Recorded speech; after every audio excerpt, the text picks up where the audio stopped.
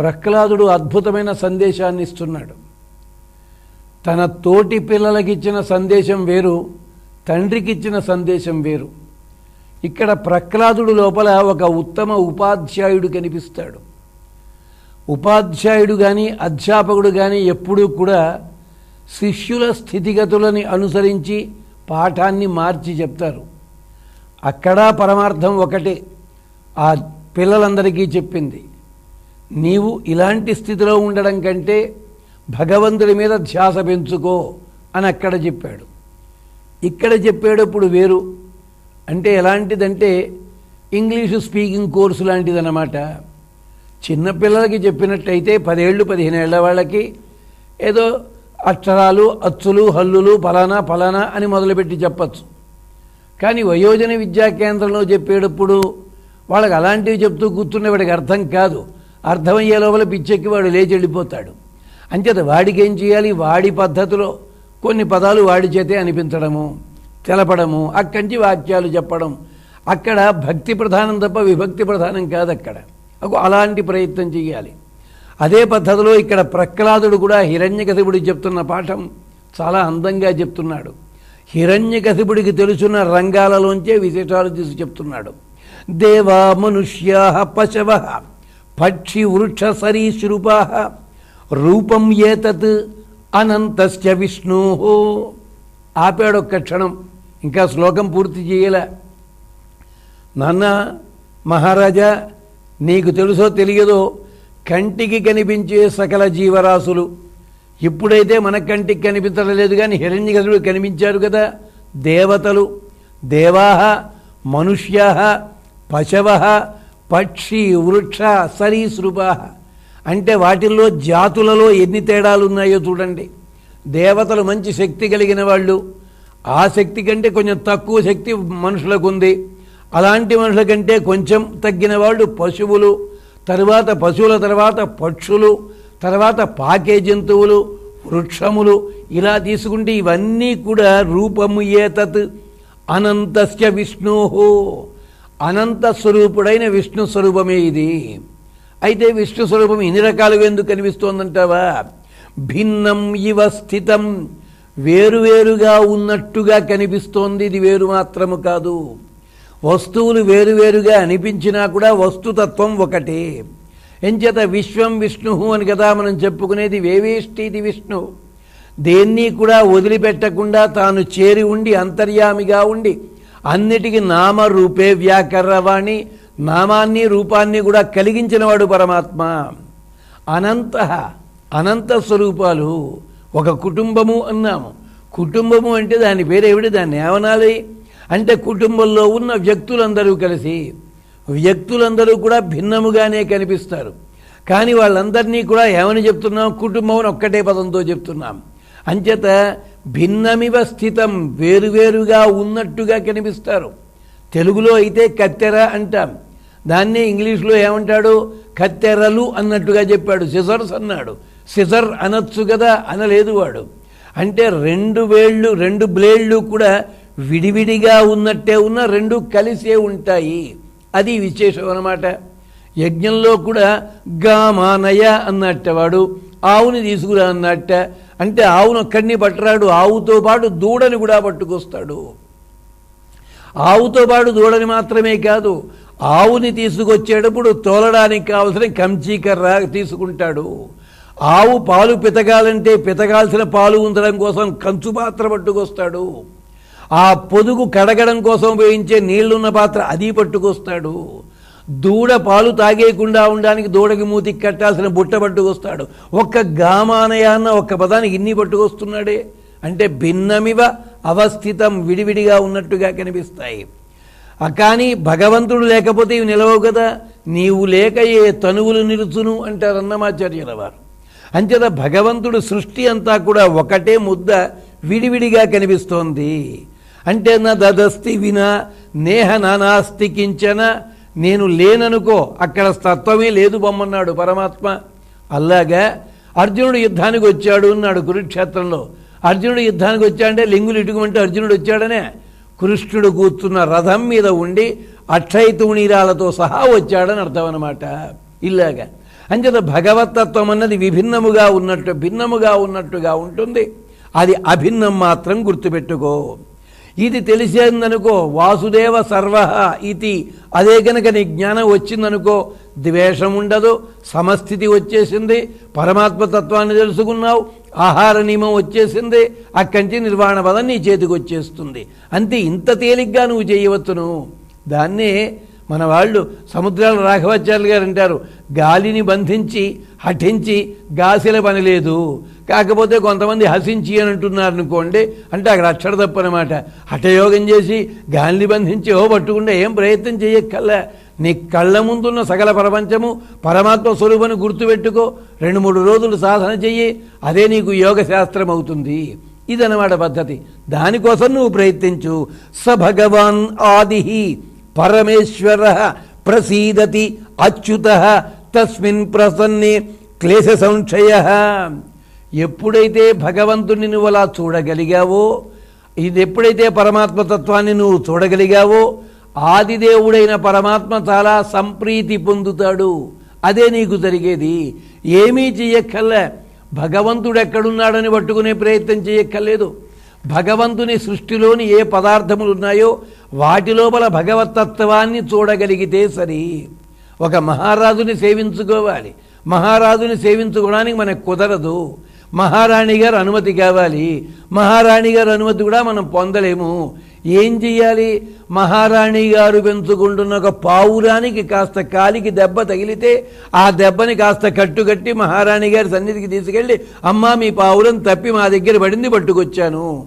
వెంటనే మహారాజా దర్శనం అవుతుంది ఎంచేది వీడు చేసిందేమిటి మహారాజు కోసం ప్రయత్నించాడా? లేదు. మహారాణి అనుమతి కోసం ప్రయత్నించాడా? లేదు. వీళ్ళిద్దరికీ ప్రీతిపాత్రమైన ఒక పావురాన్ని రక్షించాడు వీడు. ఇంతే. అంటే భగవతత్వాన్ని పట్టుకోవాలంటే భగవతత్వ సంబంధమైన వస్తువుల యందు ప్రేమ కలిగి ఉండు. హిరణ్యకశిపుడు సహించలేకపోయాడు. ఈ మాట వినగానే ఎంచేత యథార్థవాది బంధు విరోధి అని కదా శాస్త్రము. యథార్థము చెప్తే ఎవళ్ళు వినరు. ఎల్లాగట దానికే శ్రీనాథ మహాకే ఉదాహరణ చెప్పాడు. మంచి నీరు ఉంది దాంట్లో నలకలేమీ లేవు. స్వచ్ఛమైన జలమే. అంటే డిస్టిల్డ్ వాటర్ అన్నమాట. శుద్ధిపరచిన నీళ్ళు. అవి కాస్త చెవిలో పోస్తే చెవికి నొప్పి కలుగుతుంది. నీళ్ళు మంచివే. చెవిలో ఉంది దోషమంతాను. ఇది జరిగిన పని. అంచేత మంచి మాట చెప్పినా కూడా హిరణ్యకశిపుడు వినే స్థితిలో లేడు. వీడిని ఇప్పుడు వదిలిపెట్టినట్టయితే వీడి వల్ల లోకమంతా చెడుతుంది. అంచేత వీడిని ఏం చెయ్యాలి? వీడిని పక్కకి తీసి పారేస్తే తప్ప లేకపోతే వీడన్నమాటే నిజం అనుకుంటాం ఇప్పుడు లోకంలో అదే కదా. ఒక ప్రసిద్ధి చెందిన వ్యక్తి ఎంత సామాన్యమైన విషయం చెప్పినా ఓహో ఇంత గొప్ప విషయమా ఇది? నిజానికి పెళ్ళిళ్ళలో ఏదో నల్లబూసలు వేసుకోవాలని ఉంటుంది. అది ఇక్ష్వాకుల కాలం నుంచి వేల సంవత్సరాల నుంచి మనకు ఎప్పటి నుంచో అలవాటు ఉంది. అలవాటు ఉంటే ఇప్పుడు ఎవరు ఇది ఫలానా చెయ్యండి అన్నారనుకోండి అనేసరికి ప్రపంచం అంతా ఓహో వారు చెప్పారు కనుక అంటే ఏమవుతుందన్నమాట? ఒక స్థితిలో ఉన్న వ్యక్తి చెప్పిన అతి సామాన్యమైనదైనా కానీ అక్షయతైన నాడు బంగారం కొంటే ధనలాభము అని చెప్పామనుకోండి అందరూ కొంటారు. ఎవడికి ధనలాభం? బంగారం అమ్మిన వాడికి ధనలాభం అనమాట అంతేగాని అక్షయతది నాడు బంగారము దానము చెయ్యండి అని ఏ మామూలు వాడో చెప్పాడు అనుకోండి నవ్వు ఊరుకుంటారు. అదే ఒక స్థితిలో ఉన్నవాడు చెప్పినట్టయితే బంగారం దానం ఇవ్వకపోయినా బంగారం అంటే ఏదో దమ్మి చెట్టు ఆకులు అని చెప్పి అర్థాలు చెప్పుకుని అది దానం ఇస్తుంటారు అన్నమాట ప్రియరంజకశివుడు భయపడింది అదే. ఎవడైనా కానీ ఒక మాట చెప్పినప్పుడు ఆ మాట మీద నమ్మకం కలిగించేలా చెప్తే అదే సత్యమైపోతుంది. మనం అంటూ ఉంటాం పట్టు పురుగులను చంపేందుకు పట్టుబట్టలు కట్టుకుంటున్నామని చెప్పి పట్టుబట్టలు కట్టుకోవడం మానేసిన వాడెవడు? ఆ పట్టుబట్టల కోసం పట్టు పురుగులు మరణిస్తుంటే వాటిని ఆ పట్టుబట్టలు నెయ్యడానికి కూడా మంత్రములు ఉన్నాయి. వాటికి కూడా మోక్షం ఉంది. అలాగైతే ఆకులు అలములు కూడా తినడం మానేయాలి. వాటికి జీవం ఉంది కనుక వాటి ప్రాణం తీస్తున్నామని చెప్పి. అంటే సంగతి సందర్భాలు లేకుండా మాట్లాడుతుంటే ఈ మాటలే సత్యములుగా లోకంలో చలామణి అవుతాయి. అలాంటిది ఒక శాస్త్ర మర్యాద తెలుసున్నవాడు చెప్తే ఎంత ప్రమాదము అనుకున్నాడు హిరణ్యకశిపుడు. అందుకని వీడిని ఇక్కడికి ఆపకపోతే లోకమంతా నారాయణ శబ్దాన్ని పట్టుకుని అందరూ కూడా నాకు ఎదురు తిరుగుతారు. వీడిదే సత్యం ఉంటుంది లోకంలోనూ అని చెప్పి శిక్షించాలి. ఇప్పుడు ఒక్క క్షణం ఆలోచించాడు హిరణ్యకశపుడు. ఇంతవరకు శిక్షలు దండనాయకులకు అప్పచెప్పాడు మరొకడెవడికో అప్పచెప్పాడు వీళ్ళందరూ కూడా బయట వాళ్ళు అంచేత ఒకవేళ ప్రహ్లాదుల మీద ప్రేమ కలిగి వదిలేశారేమో. ఆలోచించాడు. కాదు తన కోసం ప్రాణం ఇచ్చేలాంటి ఆంతరంగికులు కొందుంటారు. కొంతమంది అగో ఆంతరంగికుల్ని పిలిపించాట. మనకి రామాయణంలో కూడా విభీషణుడికి నలుగురు కనిపిస్తారు మంత్రులు. రావణాసుడికి నలుగురు మంత్రులు కనిపిస్తారు. లేదా సుగ్రీవుడికి నలుగురు. ఇలాంటివన్నీ ఉంటే రైట్ ఆనరబుల్ శ్రీనివాస్ శాస్త్రి గారని ఆయన రాజకీయ రంగంలో ప్రసిద్ధులు గనక ఆయన పద్ధతి లోపల ఏం చెప్పారు? వాల్మీకి ఒక సరదా నలుగురు నలుగురు పెట్టడం అన్నది మేనరిజం అన్నారు. మేనరిజం కాదు అక్కడ కృతయుగం లోపల త్రేతాయుగంలో ద్వాపరయుగంలో కలియుగంలో ఎవరెవరికి ఎంతమంది ఆంతరంగిక మిత్రులు కానీ మంత్రులు కానీ ఉండాలో నియమం ఉంది అక్కడ అందుకని విభీషణుడేమో చతుర్భిస్సహ రాక్షసై సుగ్రీవుడేమో నలుగురితోటి అలాగే రాముడికి కూడా నలుగురు ప్రతి చోట కూడా కొన్ని నియమాలు ఉంటాయి అలాగే హిరణ్యకశిపుడు కూడా తన దగ్గర మంచి ఆంతరంగికులైన స్నేహితుల్లాంటి మంత్రులు ఉన్నారు ముగ్గురు ఉన్నారు ఆ పెద్ద మనిషికి. వాళ్ళని విప్రచిత్తి రాహువు మహాబలుడు అన్నవాడిని పిలిపించారు. పిలిపించి వీణ్ణి నాగపాశములతో బంధించండి. సముద్రంలో పడేయండి ముందు. ఇది చేసిన పని. నాగపాశములతోటి బంధించారు సముద్రంలో పడేశారు సముద్రం అంతా క్షోభించిపోయింది ఆ పిల్లవాడు పడేసరికి. అంటే అతని బరువుని తట్టుకోలేకపోయింది ఇది కథాపరముగా. కానీ క్షోభణ అంటే అర్థం ఏమిటి కదలిక అని అర్థం. కథాపరంగా చూస్తే అతని బరువును తట్టుకోలేక చమత్కారంగా వేదాంతపరంగా చూస్తే ప్రహ్లాదుడికి సముద్రుడు వరస ఏమవుతాడు? ప్రహ్లాదుడు శ్రీ మహావిష్ణుని తండ్రిగా భావిస్తున్నాడు కదా. లక్ష్మీదేవిని తల్లిగా భావిస్తున్నాడు కదా. మరి అలాంటప్పుడు సముద్రుడు ఏమవుతాడు? ప్రహ్లాదుడికి వరస? తాతగారే వరుస అవుతారు రాక రాక తన కూతురి కొడుకు మనవడు వచ్చాడు అనుకోండి ఆ తాతగారు ఇల్లు ఎంత హడావిడి ఉంటుంది? అంత హడావి క్షోభించడం అంటే అర్థం అదనమాట అందుకని సముద్రుడు ఏం చేశాట ఈ ప్రహ్లాదుని తన దగ్గరట్టే పెట్టుకోలేదుట. ఒక్కసారి గట్టు మీదకి విసిరేశాడు. తేలియాడాడు తరంగాల మీద ప్రహ్లాదుడు. ఇది జరిగిన పని. ఇదే ఘట్టాన్ని పెట్టుకున్నారు మనకి త్యాగరాజస్వామి ప్రహ్లాద భక్త విజయము అని చెప్పి ఇలా అందుకున్నారు ఆయన. అక్కడి నుంచి మొదలుపెట్టారు. నిజానికి ప్రహ్లాదుడు సముద్రానికి వెళ్ళి నాకు స్వామిని చూడాలని కోరుకోవడం ఇదంతా కూడా కల్పన. అంటే ఈ ఘట్టాన్ని తీసుకున్నారు త్యాగరాజస్వామి. సరే అది అది అప్ర అప్రస్తుతం కాదనుకోండి అలా అట్టే పెట్టండి. అంచేత గా- నీళ్ళ లోపల తేలియాడాడు. హిరణ్యకశిపుడికి అనుమానం వచ్చింది. ఏమో ఈ నాగభాషాలన్నవి ఏదో రబ్బర్ పాముల్లా ఉన్నాయేమో. రబ్బర్ వేస్తే ఏమవుతుంది మనం నీళ్ళలో తేలుతాం కదా. అంచేత ఇలా కాదు నాగభాషాలతో కట్టిన మాట సరే. కట్టి వీడి మీద పర్వతాలు పడేయండి మునిగిపోయేలాగా. అంచేత ఈయన తేలాడు కదా నీళ్ళ లోపల. కాబట్టి పర్వతాలు వేయండి అన్నాడు. పర్వతాలు వేసి ముంచెయ్యండి అనేసరికి అది కూడా పందరగలేదు. అప్పుడు భయపడ్డాడు మనవాడు హిరణ్యకశపుడు ఆలోచించాడు. ఏమిటి జరిగింది? ఎందుకు బతుకుతున్నాడు? నాగ్నిర్దహతి వీడి మీద నిప్పుల్లో పడేస్తే నిప్పులు కాల్తటం లేదు వీడిని నైవాయం శస్త్ర చిన్న. పోనీ అస్త్రములు శస్త్రములు ప్రయోగిస్తే ఎలాంటి పర్వతాలైన ముక్కలు ముక్కల కింద కొట్టగలిగిన వజ్రాయుధం లాంటి శక్తి ఆయుధం కూడా పిల్లవాడికి చిన్న కంతి కూడా లేదు ఒంటి మీద శరీరము కందలేదు చర్మము నలగలేదు. అలా జరిగింది. ఎలా జరుగుతోంది? నచవురగైహి కొన్ని కొన్ని పాములు ఉంటాయి విషాన్ని కక్కక్కర్లేదు కాటు వెయ్యక్కర్లేదు. ఆ పాము చూపుతో చూపు కలిపితే చాలు ప్రాణం పోతుంది. అలాంటి భయంకరమైన పాముల విషానికి కూడా వాడు లొంగలేదు. అంతేకాదు నవాతేన పోనీ గాలికి ఎగిరిపోయాడా కొట్టుకుపోయాడా ఉక్కిరి బిక్కిరయ్యాడా లేదు. నవాతేన విషేణ నకృత్యయ విషాన్ని తాగించాను నేను. కృత్యని ప్రయోగించాను. జరగలేదు. నమయాభి పట్టుకొచ్చాడు కదా శంబరుడు. ఎన్నెన్నో మాయలు ప్రయోగించాడు. మాయలకి కూడా లొంగలేదు. నచయేవ ఉచ్చదు పాతితో నచ దిగ్గదైహి. పోనీ మనవాణ్ణి ఎక్కడో వంద యోజనాల దూరంలోకి విసిరేశాం పట్టుకుని కొండల మీదకి. ఏమీ జరగలేదా? దిక్పాలకుల గజములన్నీ తీసుకొచ్చాను దిగ్గజాలని. దిగ్గజాల వల్ల కూడా ఏమీ జరగలేదా?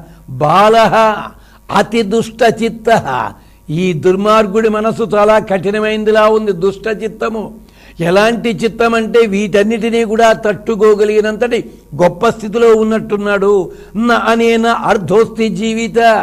ఇన్ని రకాలుగా చావుని తప్పించుకున్నవాడు నా దగ్గర బతికుండడం మంచిది కాదు.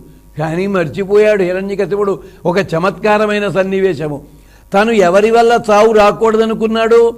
గాలి వల్ల భూమి వల్ల కొండల వల్ల పర్వతాల వల్ల వేటి వల్లనైతే చావు రాకూడదని కోరుకున్నాడో?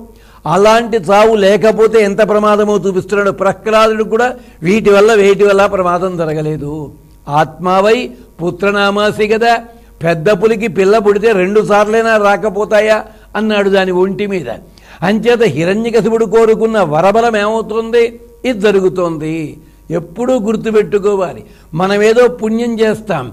ఆ పుణ్యం వల్ల మనకి ఫలితం లేకపోవచ్చుగాక కానీ పుణ్యఫలము తరువాతి వాళ్ళు అనుభవిస్తారు. ఇలాంటి వాళ్ళని ఎంతో మందిని చూచాము. ఉన్నట్టుండి ఒకడికి ఎవడికో పేరు వచ్చిందంటే అర్థం ఏమిటి? అతనికి కాదు. ఎవరు బహుశా అతని పూర్వీకులు ఎవళ్ళో ఎక్కడో అద్భుతమైన పని చేస్తుంటారు. దానివల్ల ఎవడికి పేరు వచ్చి ఉండకపోవచ్చు. ఆ పుణ్యము ఇక్కడ దాకా పనిచేస్తోంది.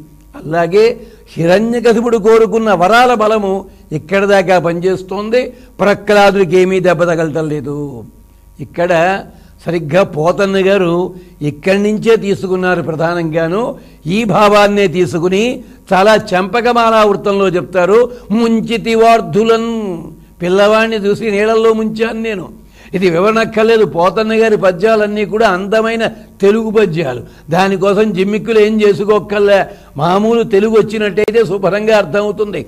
ముంచితి వార్ధులన్ గదల మొత్తితి శైలతటంబులన్ ద్రొబ్బించితి శస్త్రరాజి పొడిపించితి ఇభ ఇంద్ర పంక్తిని త్రొక్కించితి ధిక్కరించితి శపించితి ఘోరదవాగ్నులందు త్రోహించితి పెక్కుపాట్ల అలయించితి. సాగుడు ఇదేమి చిత్రము? పోతన్న గారి పద్యాల శైలి ఇలా ఉంటుంది. పద్యం అంతా పూర్తయిందే అనుకుంటాం మనం. అనుకునే లోపల చావడు పదం అయిపోయింది అక్కడ. అక్కడ మళ్ళీ ఇదేమి చిత్రము అత్త తెలుగువాడు అనుకున్నట్టుగానే. తెలుగువాడు కాదు భావాలకు ఎవళ్ళైనా ఒకటే. ఇదేమి చిత్రము?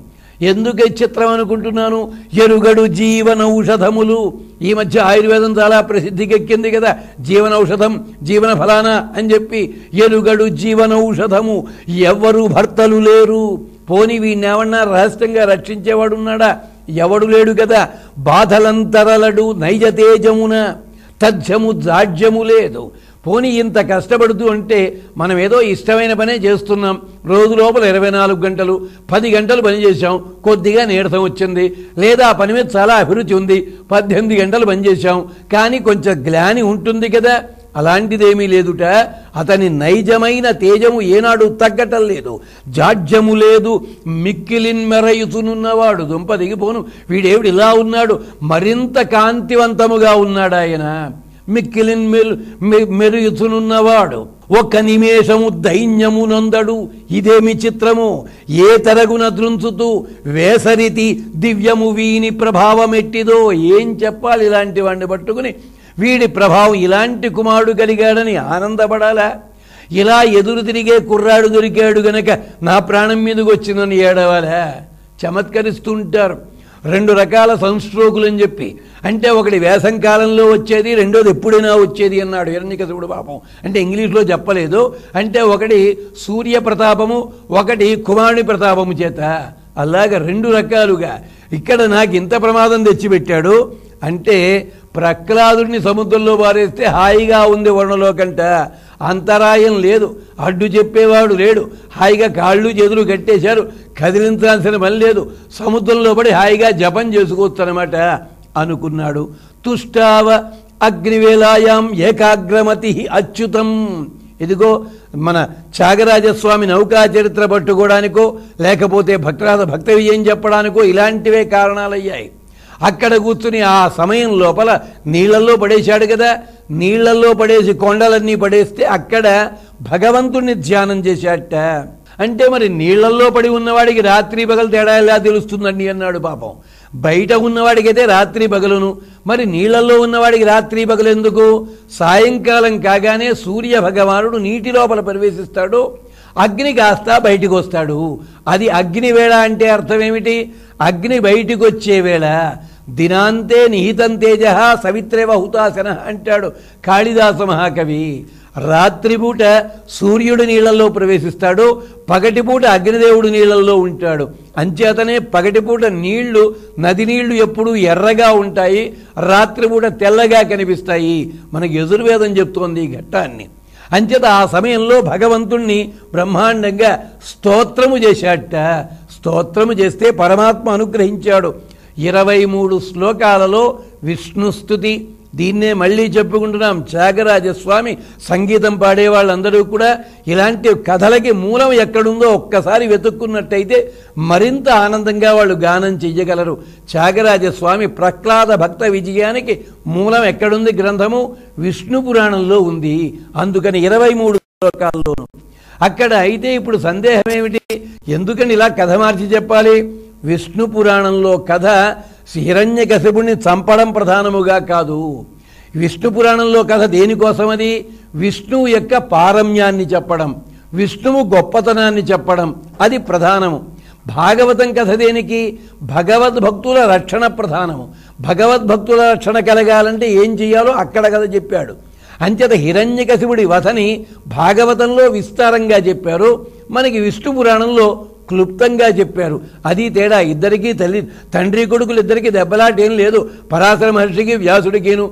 ఇక్కడ చెప్పిన పద్ధతి వేరు అక్కడ చెప్పిన పద్ధతి వేరు. ఇక్కడ విష్ణు పారమ్యము. ఈ స్తోత్రంలో ఎక్కడా కూడా అతన్ని రక్షించమని ప్రహ్లాదుడు అడగలేదు. ఏమంటాడు? ఈ బాధల నుంచి తప్పించినందుకు కృతజ్ఞత మాత్రమే. ఆ స్తోత్రంలో ఉండే విశేషాలని మళ్ళీ జ్ఞాపకం చేసుకుందాం.